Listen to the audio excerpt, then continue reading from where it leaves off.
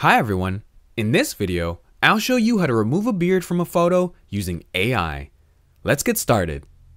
First, open Google Chrome and go to the Perfect Corp website by typing www.perfectcorp.com forward slash business forward slash showcase forward slash beard dash style into the search bar and pressing enter.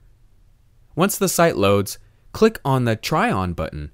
Then select I am ready and hit the use photo button to upload an image from your device. Make sure your image is less than 500 kilobytes. If it's too large, the site might slow down or freeze. So consider resizing the photo beforehand. Once your image is uploaded, the AI will automatically remove the beard from the face, giving a smooth and professional result. On the side panel, you can even explore and try different beard styles if you'd like to see a new look. When you're happy with the final image, just click the download button at the bottom to save it to your device. And that's it! You successfully removed the beard from your photo using AI. If you found this video helpful, don't forget to like and subscribe. Thanks for watching, and I'll see you in the next video.